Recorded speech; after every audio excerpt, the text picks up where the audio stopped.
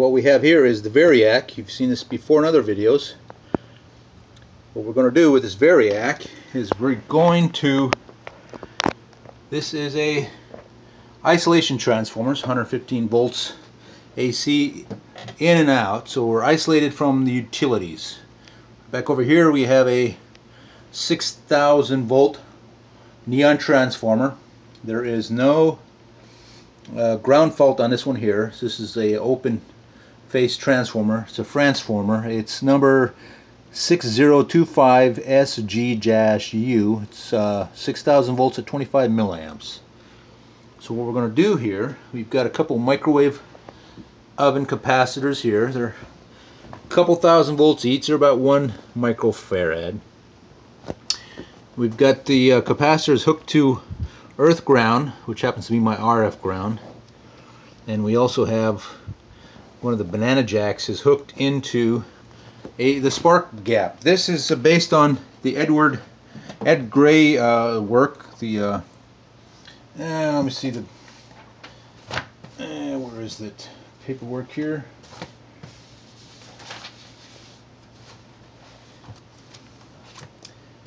So highly organized in this laboratory here. Anyhow, Edward Gray uh, it's patent number 4595975. And there was a book written by uh, Dr. Peter uh, Lindemann. He's with the Bedini clan. Uh, does some work with, done some work with him. Anyhow, I'm going to give you the link to that book he wrote. This is based on the interpretation of Ed Gray's uh, work.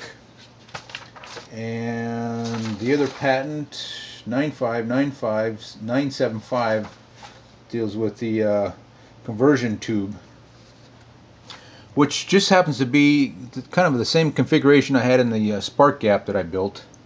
Uh, there's two tubes inside here half inch tube inside of a three quarter inch uh, stainless steel tube based on the Stan Meyers stuff he used. Uh, so I had some extra parts.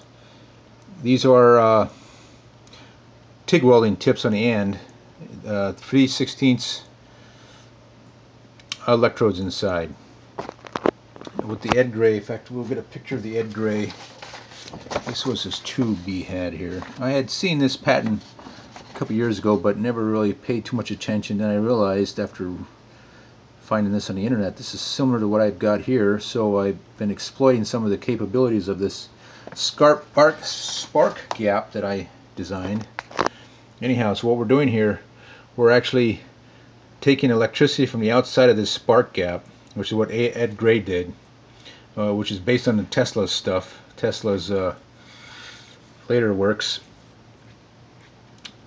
Anyhow, when in, uh, when uh, Tesla worked for Edison, he realized that when he turns on the dynamo at the power station, you get a lot of these blue sparks coming out of the uh, wires till everything started to flow, and some of the workers were killed from these sparks. So it was fascinating to him and he started looking into what's going on here and that's how he started doing a lot of his later experiments giving up on alternate AC high frequency AC and was dealing with the uh, DC uh, quick switch DC so anyhow what we found out here is we can actually extract and that's how Ed Gray actually got his motors and stuff running he uh, as the spark gap is uh, is discharging in here and the plasma uh, is actually releasing electrons to the outer uh, housing uh, and we are actually ex extracting uh, electrons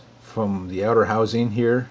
And there's no connection to the outer housing to the electrodes. So all the electrons that are coming from the outer housing here it's really hard to tell. Let me see here.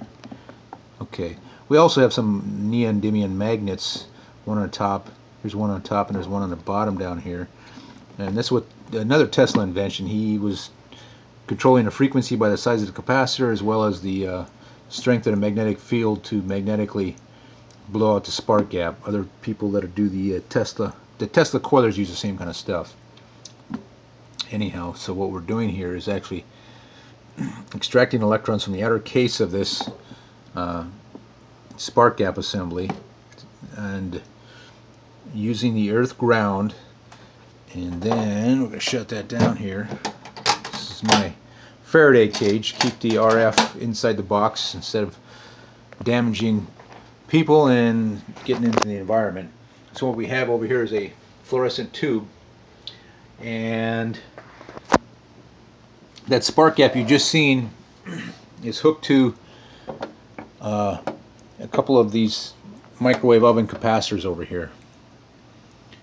We have a voltmeter here, it's an AC voltmeter. So what we're to do, we're to fire this thing up and you're to see the voltage and how the light will actually light up. It, it takes know, 500 some volts to get it going and then the voltage is going to drop down. So it'll go over 500 volts before it starts firing up and then eventually it'll go on down.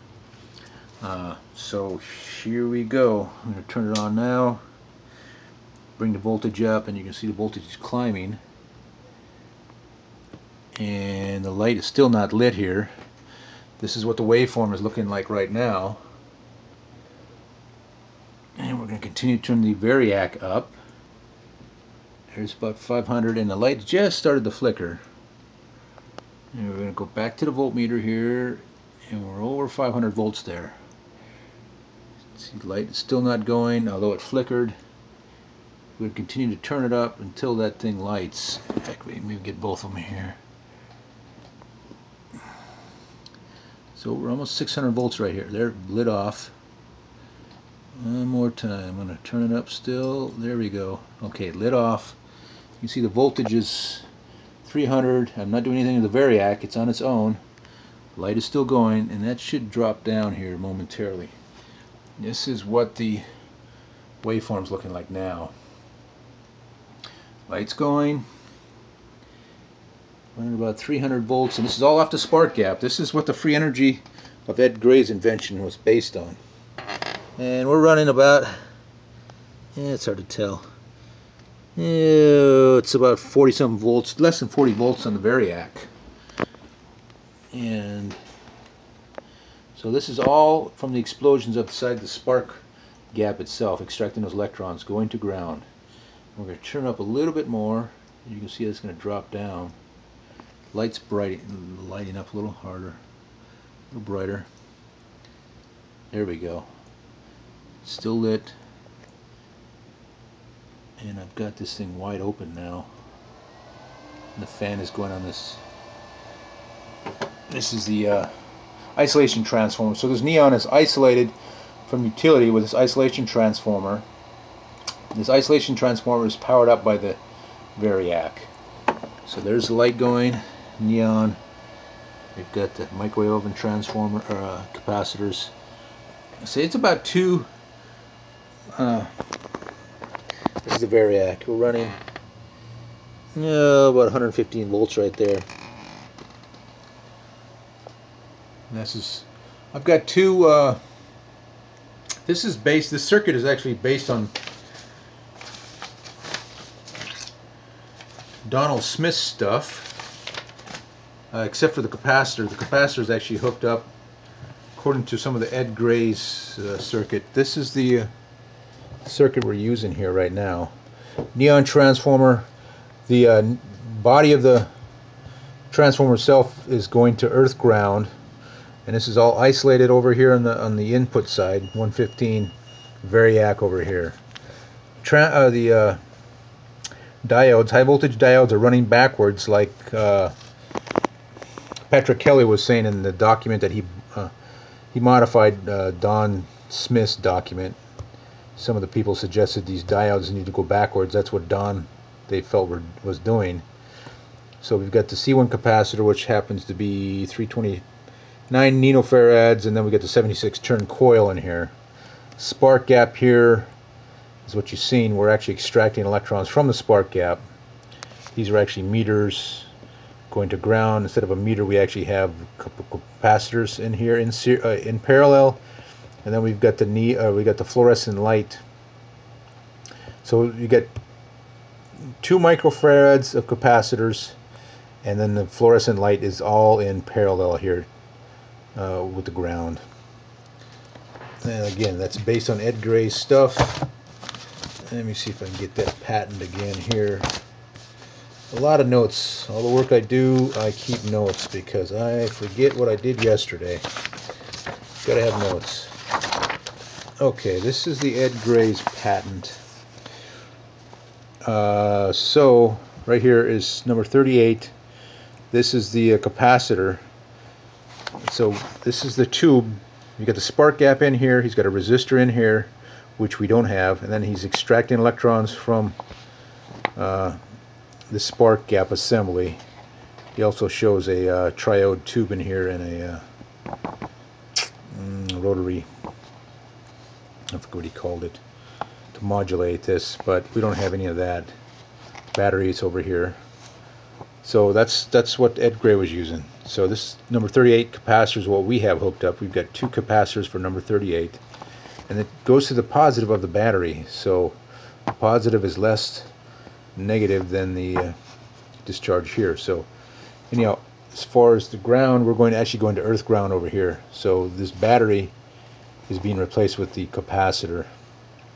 Next, we're going to actually put a uh, diode here so we can simulate the battery and then eventually put a, a battery inside here.